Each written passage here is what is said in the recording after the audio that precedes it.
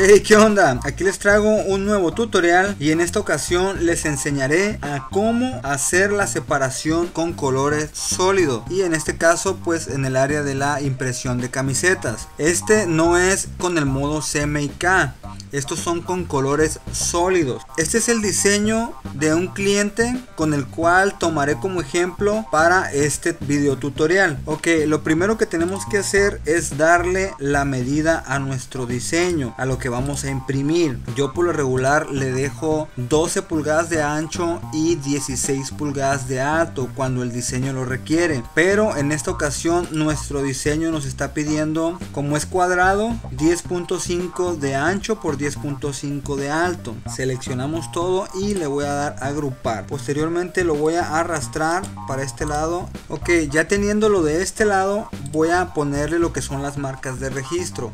Si no sabes cómo hacer las marcas de registro, en la descripción de este video te voy a dejar un link donde enseño a cómo hacer las marcas de registro. Ok, como esta camiseta el cliente nos está pidiendo que la imprimamos en color oscuro, en un gris oscuro, es necesario sacarle base a nuestros colores amarillo, rojo y verde. Vamos a hacer cuatro colores separados. Lo primero que yo hago, voy a identificar con los colores que van a ir. Por ejemplo, blanco, amarillo, rojo y por último el verde. Los voy a poner en una parte donde no estorbe y vamos a seleccionar todo y los voy a arrastrar. Vamos a sacar cuatro copias voy a eliminar los demás y voy a dejar solamente el color que va a ir. El blanco el amarillo el rojo y por último el verde. Ok ya teniendo los cuatro estos se tienen que imprimir en color negro. Entonces vamos a seleccionar el color blanco que está aquí y le vamos a dar el color negro. Estos colores el amarillo el rojo y el verde como les comentaba hay que sacarle una base blanca. ¿cómo hacemos la base blanca aquí?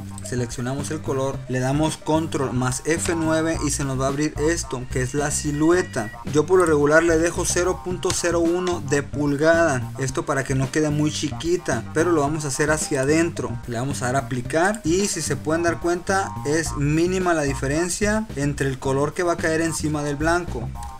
Lo separamos con control más K y vamos a borrar el amarillo vamos a hacer lo mismo con el rojo igual la misma dimensión con control K lo separamos y eliminamos el rojo. Y lo mismo hacemos con el verde. Voy a borrar este rojo de aquí a este sí no es necesario hacerle la silueta porque este cuadro que vemos aquí es de color blanco y pues va a caer lo rojo en lo blanco. Ok ahí ya tenemos nuestra separación y esta es la base la base blanca. Ok en este vamos a eliminar el color que no necesitamos. En este caso va a ser el blanco, va a ser el rojo y por último el verde. Y lo que es el color amarillo lo vamos a poner en color negro. Voy a agrupar este y lo mismo vamos a hacer con los demás colores.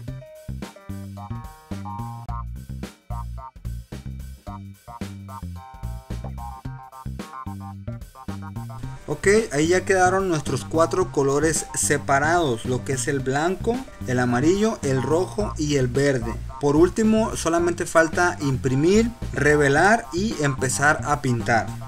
La recomendación que yo les doy es que siempre a la base blanca en colores sólidos, la base blanca la hagan un poquito más pequeña para la hora de caer en los otros colores caigan bien, porque si está al ras, si su pulpo tiene algún algún movimiento, los colores se van a ver un poco movidos. Si se pueden dar cuenta, este es un proceso muy sencillo que si lo sabemos hacer bien, no vamos a tener problemas al momento de imprimir nuestros colores van a caer bien y nuestra impresión va a quedar bien si ustedes desean obtener estas plantillas por así decirlo de las camisetas donde ustedes le pueden cambiar el color y le pueden presentar la propuesta del diseño a sus clientes de manera que se vea un poco más atractivo. En la descripción de este video les dejaré el link donde lo pueden descargar. Es totalmente gratis. Este archivo va a venir en Corel. Lo van a descargar ustedes y lo pueden utilizar